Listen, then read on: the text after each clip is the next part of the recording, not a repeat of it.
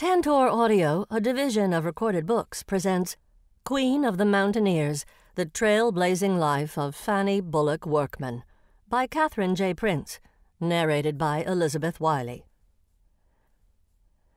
When later a woman occupies her acknowledged position as an individual worker in all fields, as well as those of exploration, no such emphasis of her work will be needed. But that day has not fully arrived and at present it behooves women, for the benefit of their sex, to put what they do, at least, on record. Fanny Bullock Workman. A woman who has done good work in the scholastic world doesn't like to be called a good woman scholar. Call her a good scholar and let it go at that. Don't call me a woman mountain climber. Annie Smith Peck. 1. Mountaineering for Ladies. Sweat cascaded down Fanny Bullock Workman's back. Underneath her woolen jacket, her once crisp white shirt, buttoned to the neck, was plastered to her skin. Her heavy skirt was sodden around the hem, and her legs, clad in wool stockings, itched from the heat. On the way to the summit, she had noticed how the dust glittered on her hobnailed boots how the green leaves drooped motionless in the humid air, and how the sedges and mosses carpeted the spaces between the trees. Now, as she caught her breath, her eyes crinkled upward. She could hear her husband's footfalls growing louder as he neared, but for just a moment she owned the view from atop Mount Washington. It was a clear day in the summer of 1881 and from the summit of the 6,288 foot high peak in New Hampshire's White Mountains, the earth and sky melded into a misty blue line. Certainly, she thought, few had ever stood here before this panoramic view. All 33 peaks in the Presidential Range, including Mount Adams, Mount Jefferson, and Mount Madison, jutted upward.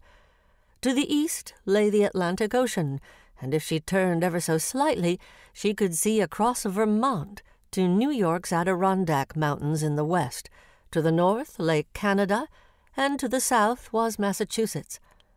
The sight perfectly matched the description in Among the Clouds, Mount Washington's famous daily newspaper, the only newspaper printed on the summit of any mountain in the world, and it was printed twice daily for Fanny and William Hunter Workman, or Hunter as she called him, climbing brought a certain sense of liberation. The newly married couple, like so many in their social milieu, enjoyed escaping the cities and towns.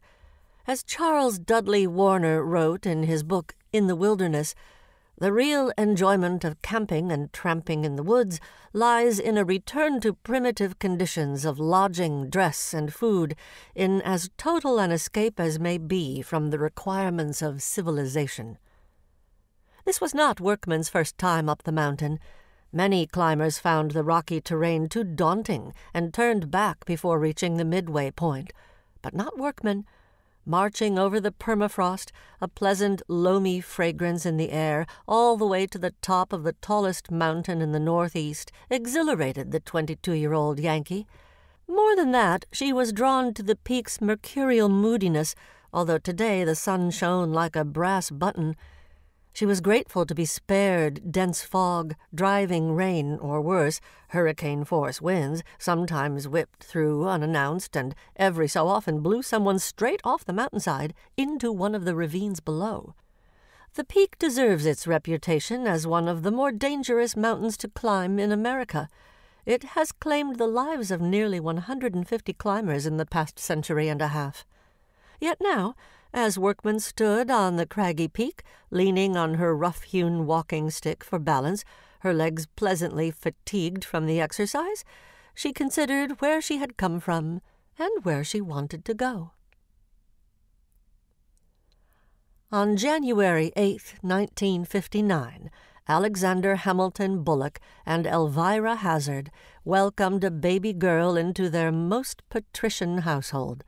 Fanny joined an older brother, Augustus George, born in 1847, and a sister, Isabel, born in 1849. Both the Bullocks and the Hazards traced their lineage back to the Pilgrims. Fanny's great grandfather had been a sea captain, and her maternal grandfather, Colonel Augustus George Hazard, had founded the Hazard Powder Company in Connecticut. Through that business, combined with his vast land holdings, Hazard had amassed a sizable fortune and thus secured his family's financial future. Elvira Hazard, born in Enfield, Connecticut in 1824, was one of eight children.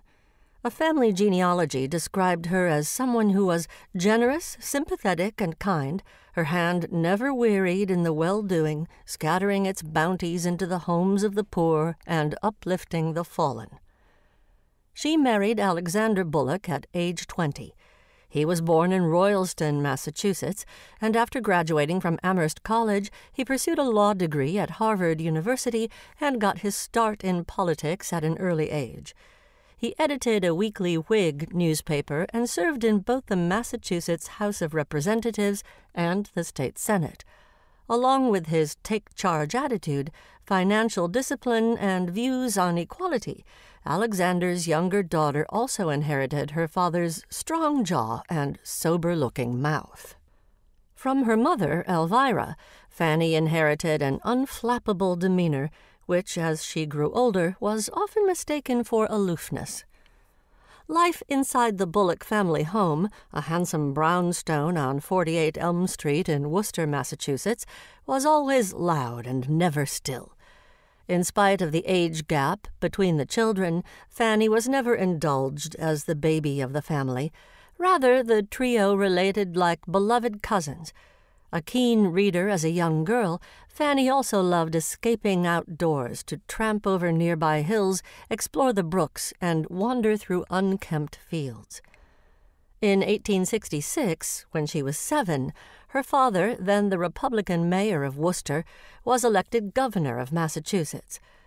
During his three terms in office and under his financial discipline, another quality Fanny inherited and would later put to good use when leading expeditions, the state paid off its wartime financial responsibilities actively opposed to the expansion of slavery before he became governor, during his tenure, Bullock became involved in the Massachusetts Emigrant Aid Society, an organization committed to populating Kansas with abolitionists.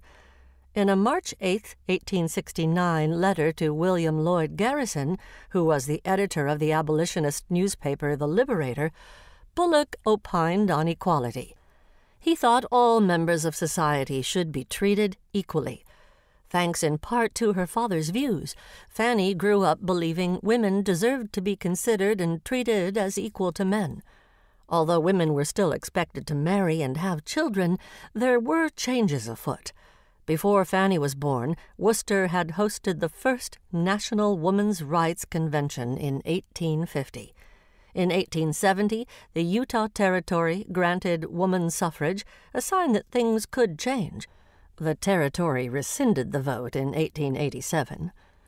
Also in 1870, the Grimke sisters and 42 other women tried to vote in Massachusetts. Their ballots were cast but ignored. Still, the events signaled change to come. Over at Worcester's Free Church, the Reverend Thomas Wentworth Higginson urged women to engage in physical activity, such as hiking and skating. The progressive thinker would later write an essay, Saints and Their Bodies, in which he deemed physical health a necessary condition of all permanent success. The city had long been a well of resistance. Settled in 1673 by Daniel Gookin, Worcester had been an outpost during the American Revolution.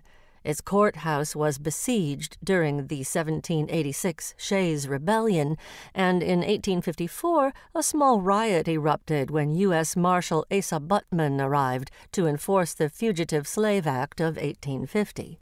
Local citizens kicked and threw rocks at him, chasing him back to Boston.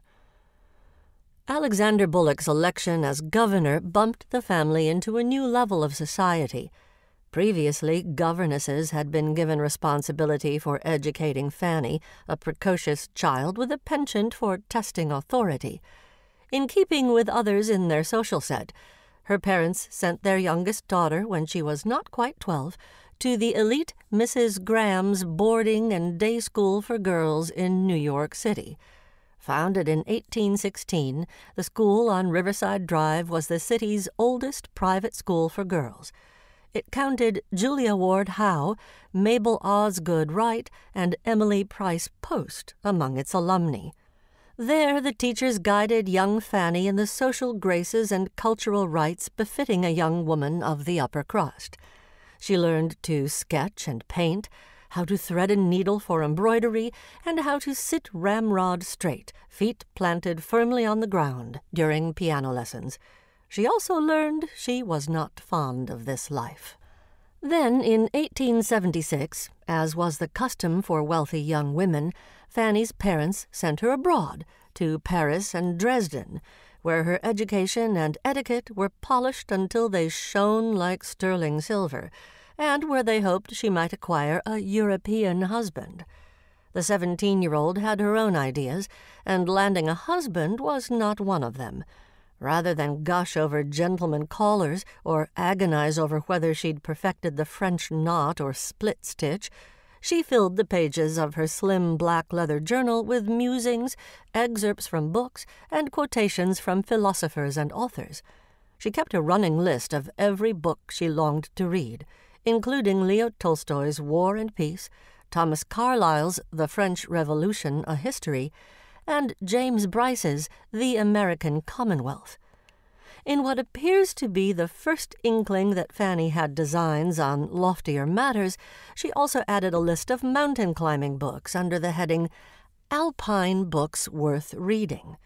Among those noted were William Martin Conway's Climbing and Exploration in the Karakoram Himalayas and Edward Whymper's Chamonix and the Range of Mont Blanc, a guide. In 1879, three years after she penned her last entry in the journal, Fanny returned stateside. The twenty year old woman with wiry brunette hair now spoke French and German fluently, was well schooled in the art of conversation, and knew her way around the Dutch masters and historical landmarks. She knew walking through the door on Elm Street meant walking back into a life where silver trays sat on foyer tables, waiting to be filled with the calling cards of her wealthy acquaintances, while destitute people begged for alms in the city streets. Where corsets restricted her every movement, and where she always had to sit perched on the edge of her chair because of the bustle. Walking through the door on Elm Street meant returning to a life where women sipped cooled sherry and expected to bear children and mind a household. She wanted none of it. As a means of temporary escape, Fanny sometimes hiked in the hills near Worcester. She soon returned to writing as another outlet. One of her earliest efforts was a short story titled a vacation episode in which the protagonist, a beautiful and aristocratic young Englishwoman, tires of studying and flees across the Channel all the way to Switzerland's Bernese Alps. In the village of Grindelwald, the gateway to the Jungfrau, she finds her destiny. Rather than wed a rich European, as her parents hoped she would, the unnamed heroine falls in love with an American and becomes a superior alpinist. Though fiction, the short story reads as a thinly veiled account of Fanny's own wanderlust and deep desire to live by her own set of rules.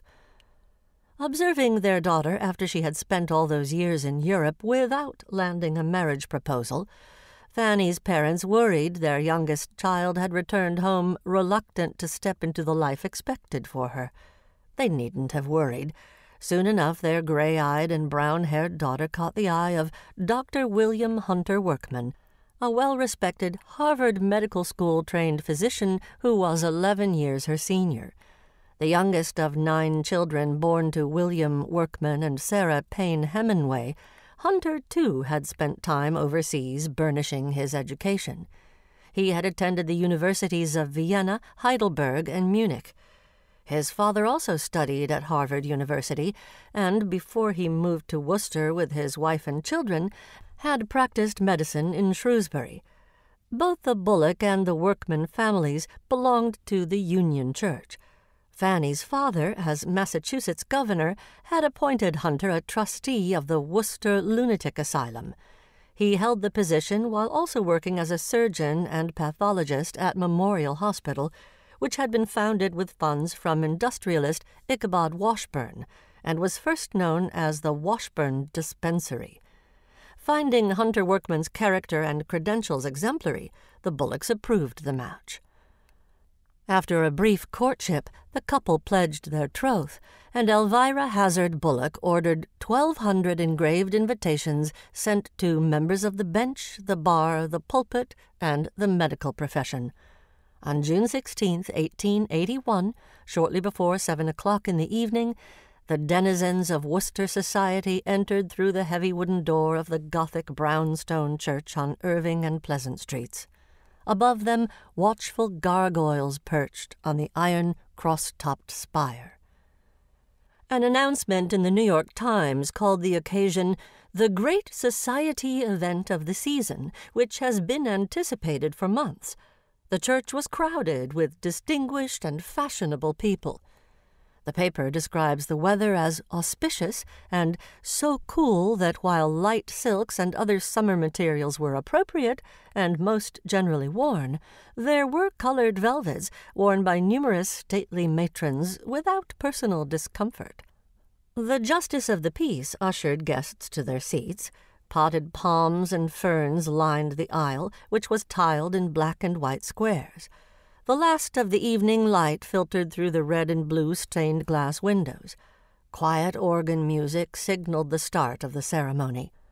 Draped in blue brocade and satin de Lyon, the bridesmaids preceded Fanny down the aisle, bonnets adorned with pink roses perched upon their heads. A vision of maternal pride, Elvira wore a gown cut from heliotrope satin and brocade, with black point lace trimming and diamond adornments. Fanny's older sister Isabel beamed in white satin de Lyon with pearl ornaments. Lush floral bouquets dressed the altar and were in harmony with the rich and becoming costumes worn by the ladies present the music transitioned to Wagner's bridal chorus from Lohengrin. Heads turned to see the bride, elegant in white satin and silver brocade with point lace, one hand resting lightly on her father's crooked elbow. The diamond ornaments sewn into her gown shimmered. Fanny Bullock took a deep breath and walked toward Hunter. One satin slippered step after another, she could see, like the aisle before her, her life mapped out, a predictable life. The prominent New Englanders sitting in the wooden pews might have seen a young woman ready to assume the roles of wife, hostess, and mother.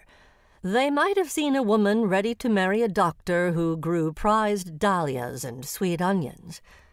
The notes of the wedding march reached a crescendo as Fanny reached Hunter's side. In the presence of a brilliant assemblage of friends, the couple silently pledged to lead a different sort of life. In William Hunter Workman, she had indeed found a wealthy husband who could keep her in comfort for all of her days. Yet it wasn't comfort she sought. She wanted, nay, she demanded, a partnership of equals. A coupe drawn by her own horses, each bedecked with white satin rosettes and ribbons, had carried the bride to church. Now she and her new husband climbed back into the carriage to ride the short distance to her parents' spacious home, where a table groaned under the weight of bridal gifts, profuse and costly. The food was plentiful and the toasts many, and yet, as warm and sparkling as the evening was, the new couple welcomed the moment the last guest left. With this marriage, Fanny Bullock Workman cast off the chains of Victorian womanhood. Nearly three years after they exchanged vows, on March 23, 1884, Fanny gave birth to their daughter Rachel in the upstairs bedroom of their house with bow front windows. Joyous as the occasion was, the baby's birth curbed neither Fanny's nor her husband's wish to travel beyond Worcester a city that felt increasingly provincial. Athletic and sharp, Workman couldn't abide her mother's friends and peers who, by the spoonful, swallowed the prevailing wisdom of the time that motherhood sanctified a woman and that it was the only goal she should aspire to. Well, that and homemaking. Of course, if a woman had free time, engaging in a bit of philanthropy or joining a civic club would not be untoward. Climbing and exploring was not on the list. The young mother knew she was a privileged woman. She knew her grandfather had left her mother means, and she knew that as an upper class woman she had access to everything schools, health, and leisure. Yet she wanted more than material comfort. She wanted independence and adventure. Refusing to obey the ossified characterizations of womanhood, Workman was becoming a modern woman of her day. She was formidable. She was independent. She believed in women's suffrage and wished to be judged on her merits, not her marriage. Without realizing it, she was becoming what would, in another decade or so, be called a new woman. Since returning from Europe in 1879, she had tried several times to publish her short stories, but met with little success. Nevertheless, she kept writing. Her persistence paid off in 1886 when her short story, A Romance of King Philip's War, landed on the desk of an editor at New England Magazine. Set in 1676 during the First Indian War, or King Philip's War, it told of a captive young white woman named Millicent and her attraction to and ultimate rejection of an Indian named Ninigret. One bright afternoon early in the month of June 1776, a young girl stood leaning against the trunk of a tree, gazing into the waters of the beautiful Lake Quinsigamond. Her head rested heavily on her hand, as if weighed down by the burden of despair. So opened the two part story. Millicent ultimately refuses Ninigret's offer of marriage and protection, telling him such wedlock would spell doom. Marry you I never can. Think of it calmly, and you will see that it is impossible. Such a marriage would only bring misery to us both. Like the protagonist in Workman's first story, Millicent discovers romance on her own terms. Yet, unlike the unnamed English heroine of her first story, who defies parental expectations and marries an American, Millicent recognizes the limitations of a marriage beyond the conventions of class and race, so she does not marry. Although it's unknown how much Workman earned for the piece, she received a positive review in the Sacramento Record Union. A most charming romance of King Philip's War is given in the April and May numbers of New England Magazine from the pen of Fanny Bullock Workman it is an incident of the capture and rescue of a white girl, and is told in a very pleasant and infatuating style. In her fiction, Workman rescued her heroines from the claustrophobic life peculiar to her real life social circles, from heavy dresses worn over tightly laced corsets that restricted movement to the expectation that women regard their husbands as the sun around which all else orbited. Workman joined a growing chorus of women no longer willing to remain quiet about their lack of agency. In 1886, women protested their exclusion from dedication ceremonies for the Statue of Liberty. And that same year, a women's suffrage amendment reached the U.S. Senate floor, though it was defeated two to one. The young couple returned to the White Mountains summer after summer they were especially taken with Mount Washington, whose Indian name was Agiocochook, or Home of the Great Spirit. They relished its challenging terrain.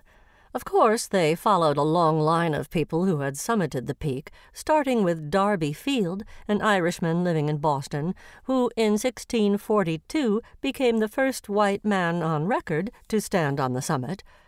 Prior to the 19th century, mountaineering had served primarily as reconnaissance for military strategy or to aid expansion of commercial transportation systems. In the latter part of the century, though, the rising British leisure class began embracing climbing for sport. Closer to home, John Muir, the Scottish American naturalist and author, extolled the virtues of the great outdoors, prompting many Americans to seek respite from city life in forests, mountains, or at the seaside. Hiking and climbing for pleasure in the late 1800s was considered a rather fashionable way for well to do city dwellers to pass a holiday. It was quite normal to see wealthy outdoor enthusiasts dressed in tall hats and frock coats as they took to the woods or traipsed across glaciers. Nevertheless, for the more earnest outdoorsmen, outing clubs had started to crop up across the country. One of the first was the Alpine Club of Williamstown, Massachusetts, established in 1863, and not to be confused with the American Alpine Club. It guided people on hikes and climbs in neighboring New Hampshire. Following the Civil War, the clubs began expanding their mission members began to take it upon themselves to clear and mark trails, provide trail maps, and build trailside shelters. Their work lives on in the numerous outdoor clubs and organizations of today. The Workmans had yet to join any clubs as of the late 1800s, mountain climbing or otherwise. Still, they delighted in spending time in the great outdoors, particularly in New Hampshire, just a half day's trip from home. Unlike many tourists visiting the region, the Workmans refused to board the cogwheel train that took passengers along nearly three miles of steep track to the top of Mount Washington. Ever since the train had started running in 1868, flocks of tourists had descended on the area. Many were keen to purchase stereoscopic pictures as souvenirs. Some took rooms at the stately three story Glen House, with its choice of lakeside or mountain views, ladies' writing room, and a smoking room for the gentlemen. Others lodged at the Summit House. By century's end, more than 5,000 people had stepped aboard the cogwheel train, from ordinary citizens to political luminaries. President Ulysses S. Grant, his wife Julia, and their son Jesse had taken the train on August 27, 1869, and dined at the Tip Top House. Eight years later, in 1877, President Rutherford B. Hayes and his family had made the same trip to the top, where the mountain's newspaper, Among the Clouds, was published. Taking a cup of tea at the Tip Top House was almost always in order for those who reached the summit. Built from rock blasted from the mountain, the hotel's interior felt refreshingly cool after a summer climb. Yet it was the sensation of lacing her hob-nailed boots tight and striding purposefully to the top that made Fanny Workman feel most at ease. During Workman's climb that morning in 1881, she likely passed several other women on the lower trails, although most were likely not aiming for the summit. Unlike their European counterparts, American mountain clubs allowed women to join almost from the beginning.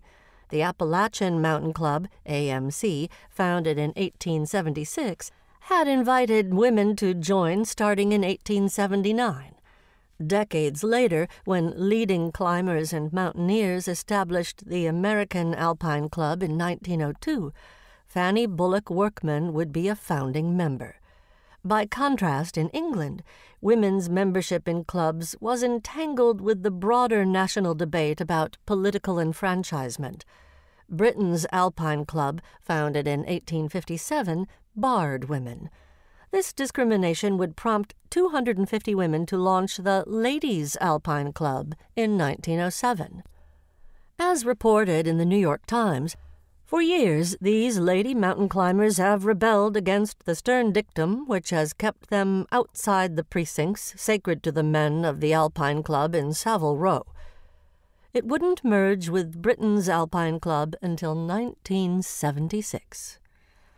All this climbing put Workman and other female climbers in close contact and cooperation, as well as occasional conflict, with men who felt the trails belonged to them alone.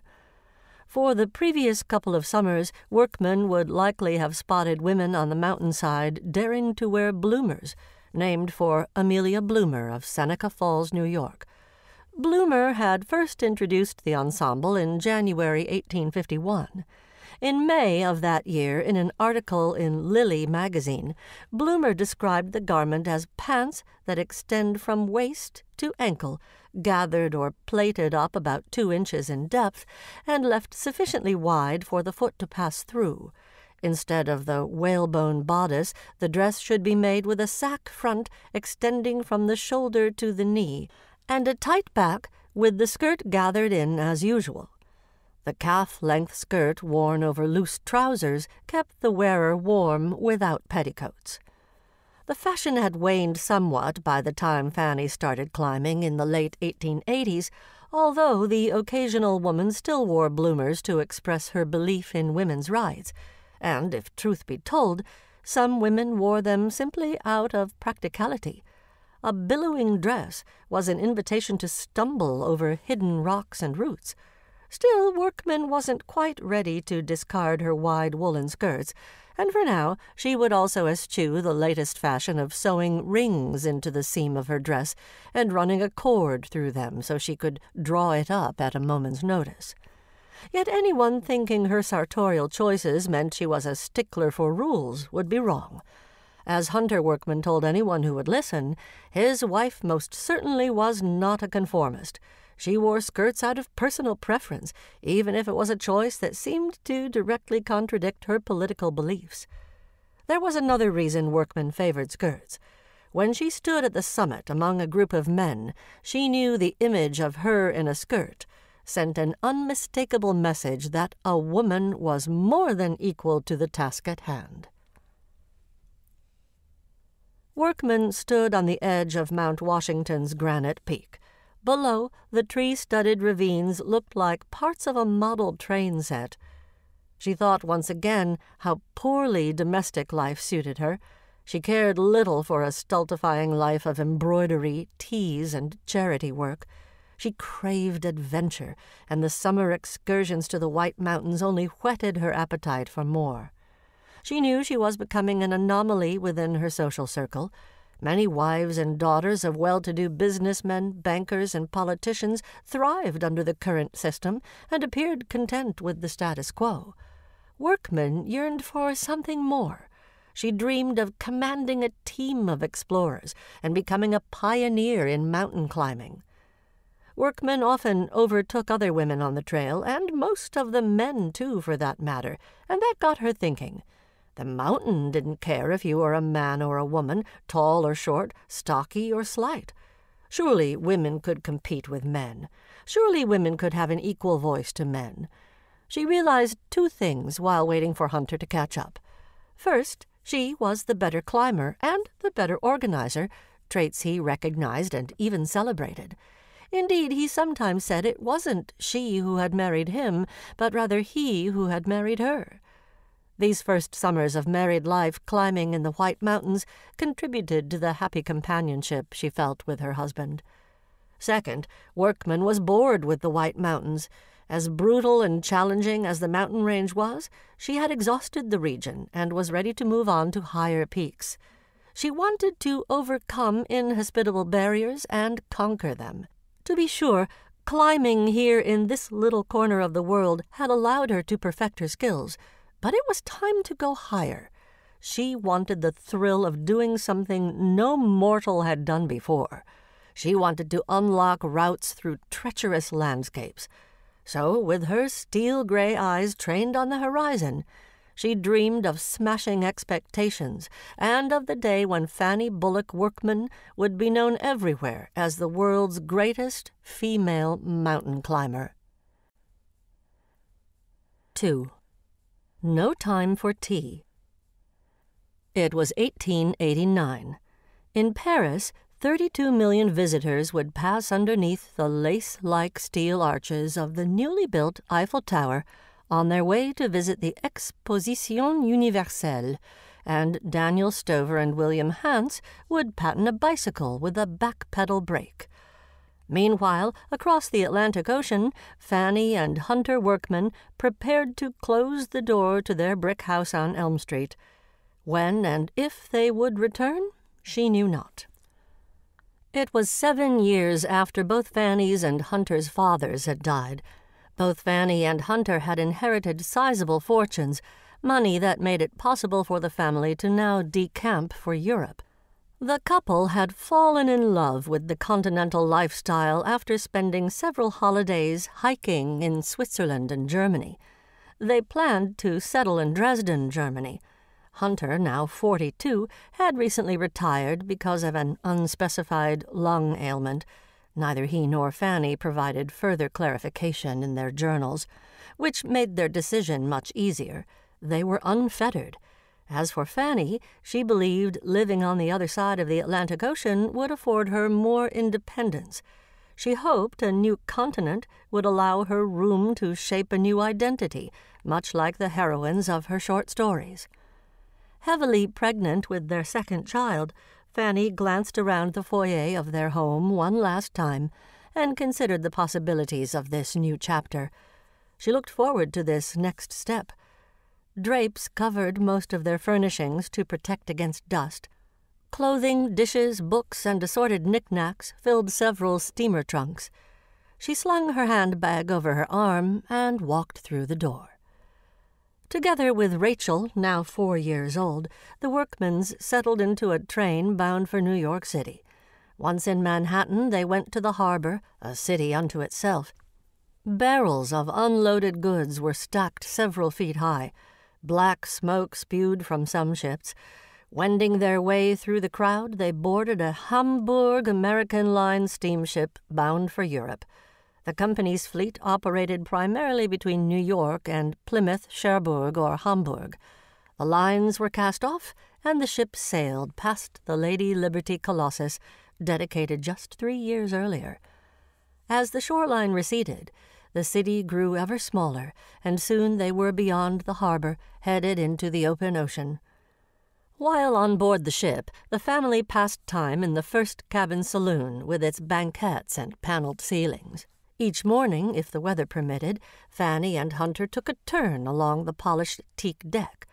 When evening came, they dressed for dinner and descended the carpeted grand stairway. After nearly ten days at sea, the ship sailed down the Elbe River and docked in Hamburg. Together the family disembarked. Fanny held the rail of the ramp for balance, and Hunter held Rachel's tiny hand in his own. The harbor was a hive of activity. Here a couple embraced one last time. There a young man hefted a duffel on his shoulder before boarding an America bound ship. Endings and beginnings. The trio boarded a train. Their luggage had already been sent on ahead. Three hundred miles later, they arrived in Dresden, the city they would call home for the next several decades. The elegant couple looked forward to indulging their shared tastes in literature, art, and music, to the Philharmonic, the galleries, and the cosmopolitan flavor of the shopping arcades and cafes. Meanwhile, Fanny wasted no time organizing and staffing her household. Her fluency in German came in handy. She hired a cook, a housekeeper, and a governess for Rachel. Life quickly fell into place. On December 11th, 1889, contractions gripped Fanny. The local doctor was summoned to their home, and several hours later, in her upstairs bedroom, Fanny delivered a healthy baby boy. Taken as Fanny was with newborn Siegfried, who was all blonde curls and cherub cheeks, his arrival did nothing to awaken a desire in her to nest. Staying home head bent over needlework and being directly involved in housework and caring for her children would never appeal to her. It was too narrow a life. She had an eye toward the world on the other side of the door. In their social circle, employing a governess to mind one's children was the norm. However, leaving one's children in the governess's charge so one might head off into parts unknown was something else entirely, if one were a woman.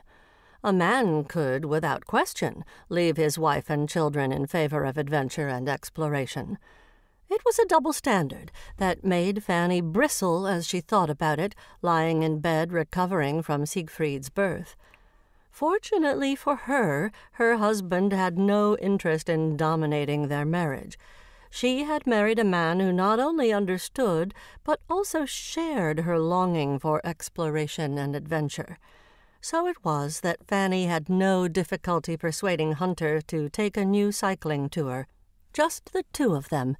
She had read all about the new craze and was eager to try the newly invented safety bicycle.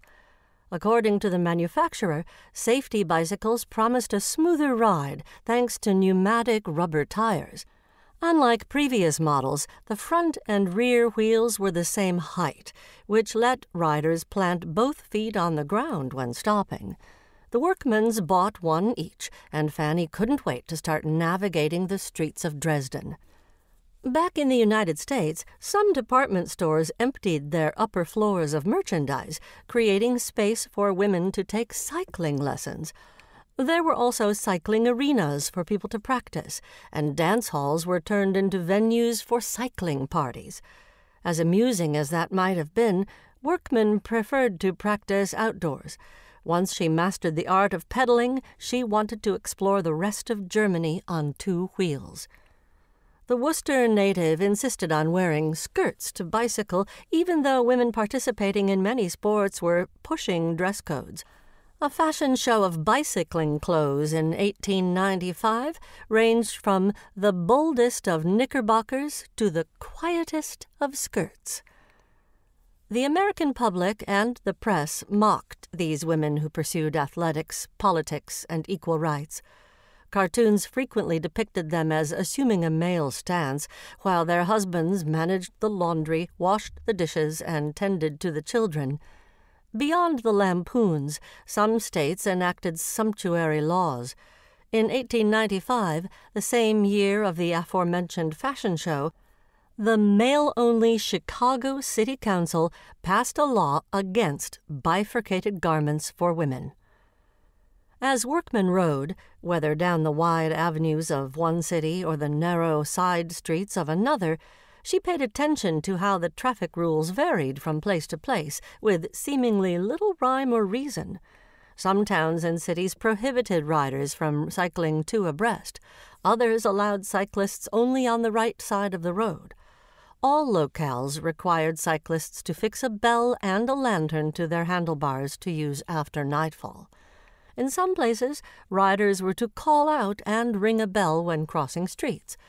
A belt and suspender rule, if there ever was one, Workman thought. Like a naturalist observing animal behavior, Workman took careful notes of the rules and regulations and pulled her thoughts together in an article, Bicycle Riding in Germany, for Outing magazine, which had started in 1882 as Wheelman, a magazine devoted to cycling. One of her earliest travel pieces, the article's prose was stilted and preachy, similar to the tone she assumed in later pieces. Gone were all traces of the breathless young woman caught in a love triangle between an American soldier and a Native American.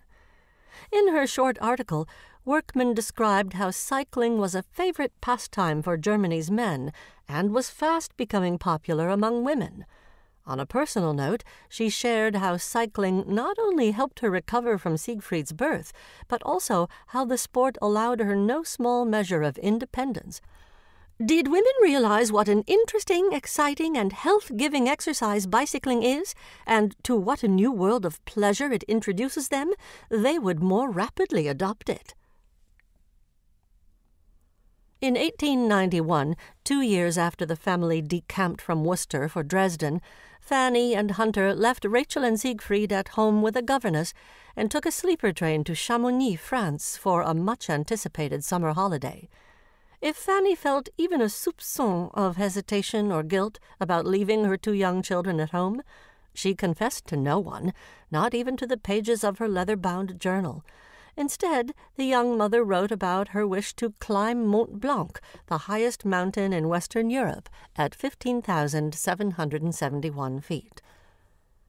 Nestled in the Haute Savoie, Chamonix was first settled in 1091 and originally called Le Prieuré.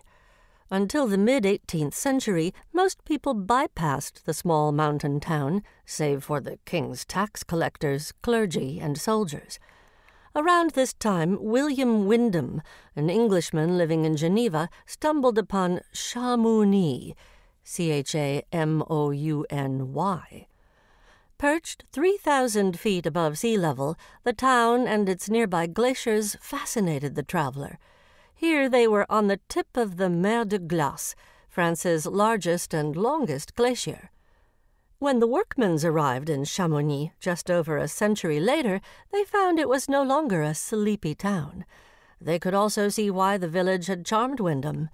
French now dominated the patois mix of French and Italian spoken by its year round residents. Hotels and inns were filled with droves of British tourists, particularly during the spring and summer months. The little town was fast becoming the center of the mountain climbing world. An enthusiastic Workman and her husband strolled across the quiet cobblestone streets to meet their guide. She didn't allow herself to be distracted by the horse drawn carriages clattering by, or the meringues or other goodies piled high in bakery windows. She focused her mind on Mont Blanc. Dr. Michel Gabriel Paccard, along with Jacques Balmat, a chamois hunter and mountain guide, had been the first climbers known to have reached the top on August 8, 1786. By the time the Workmans arrived, hundreds of men and a handful of women, the first being Lucy Walker, had followed suit.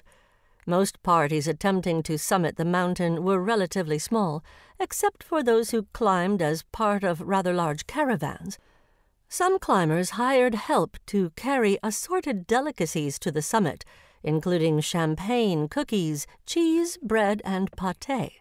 Some even decreed no successful Mont Blanc climb was complete without fireworks, sometimes, and cannonade, often, echoing across the valley.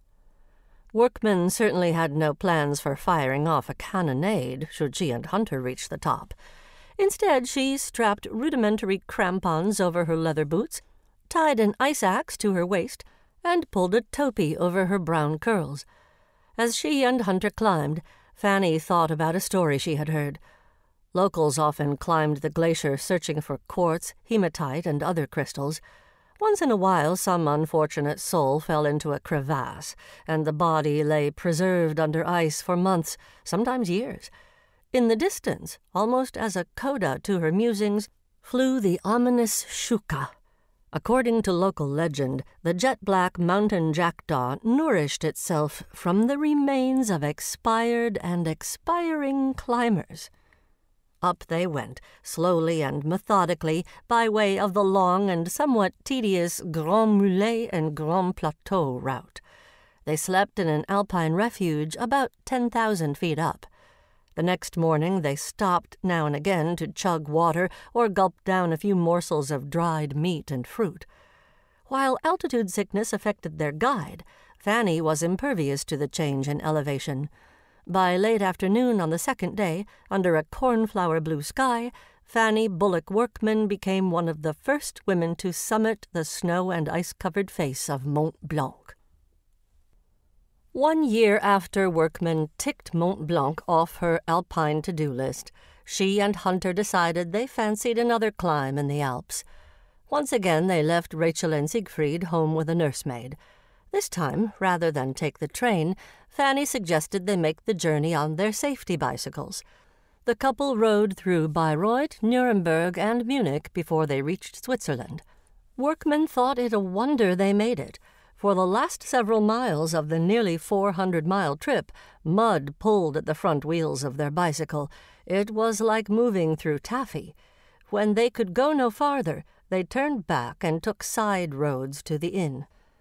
The next morning, the Americans settled their bill and pointed their safety bicycles toward Zermatt, a German speaking village located in the southern end of the Matter Valley. They cycled past apricot orchards and vineyards.